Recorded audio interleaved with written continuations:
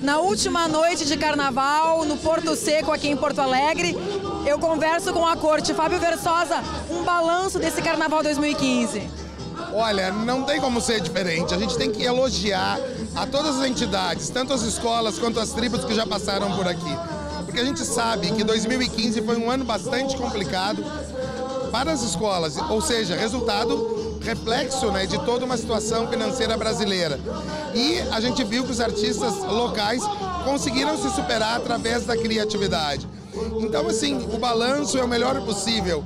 Se pudesse empatar todas as escolas e as duas tribos, eu, enquanto Raimundo, não poderia fazer diferente.